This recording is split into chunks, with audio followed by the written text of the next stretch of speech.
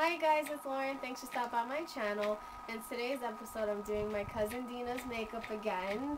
And uh, you might remember her from my uh, mermaid look that I did a while back. And now I turned her into the theme for St. Patrick's Day, as you can see with her cute green scarf here. And I repeated the colors on her eyes. And I'll just show you what I used really quick before we get started. I used a couple of greens from the Coastal Scents 88 Shimmer Palette. In the green row, I used the two colors up from the bottom. And if you go over to the next green row, that dark one right here. So I use these three green colors. And from the L'Oreal Hip collection, I use this green pigment in Rebel. And I line the eyes with um, the Hip eyeliner in teal. And from Paint Cosmetics, I use Pellucid, this nice yellow pigment. And this look is great for St. Patty's Day, whether you're going to the parade or going out drinking afterwards.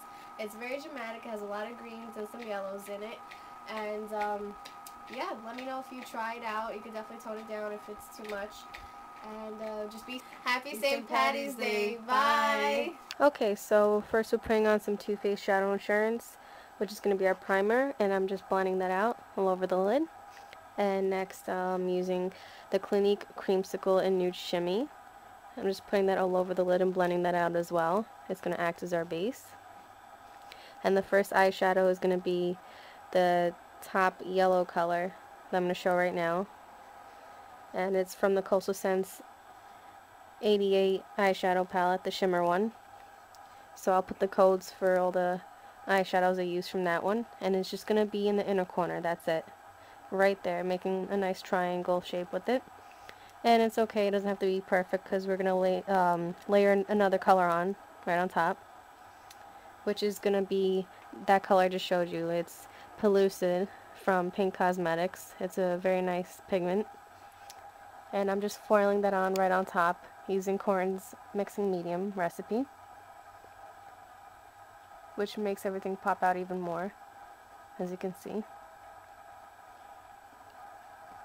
And the next pigment I'm going to use that's going to go in the middle of the eyelid is called Rebel from L'Oreal Hip. It's a nice lime green color.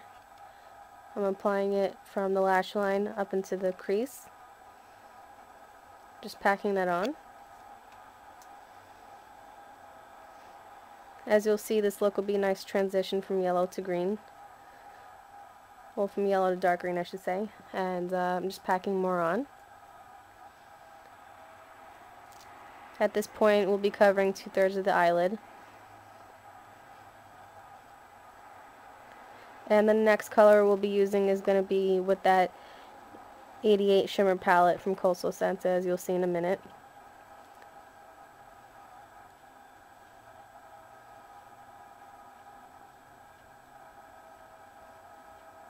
Yeah, like I said, we're taking that lime green color from the Coastal Scents palette and just packing it on to the last third of the eye, to the outer corner. And you didn't see me do it before, but I put a piece of tape, so I'm just applying it in that area. And I don't really have to care about it being messy because of that tape. And on that end of the brush, I had already put some dark green eyeshadow, which is also from that palette. And I'm going against that area where the tape is, and I'm bringing it down across the other green colors I put just to give it more dimension and it's going to look really nice when I line the eyes in a minute.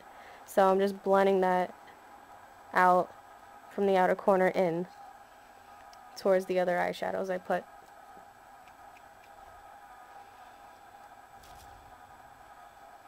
And the crease color is just the light green color that I used previously. I'm just repeating that same color into the crease.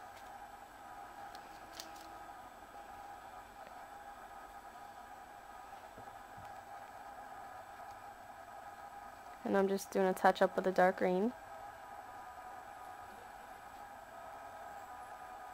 And I had already put some Too Faced Shadow Insurance on the lower lid, and now I'm bringing that yellow eyeshadow, the first one we used from the 88 palette, and I'm bringing it all the way across the eyelid,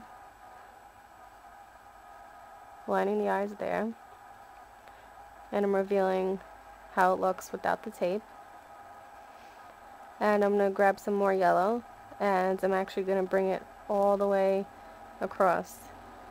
As you'll see in a minute. I'm just making touch-ups.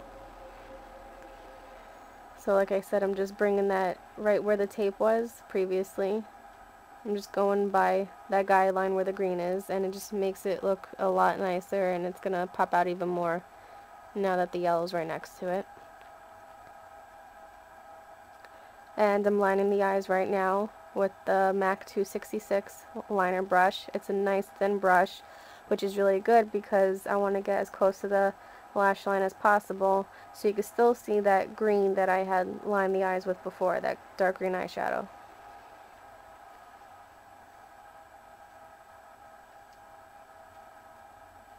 And this is the final look after I applied mascara. I really hope that you guys have a happy and safe St. Patty's Day and thanks so much for stopping by my channel. Have a great day.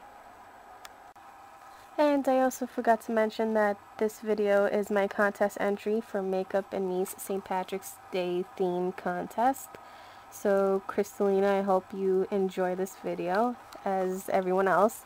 And I hope you guys have a great day. Thanks for stopping by.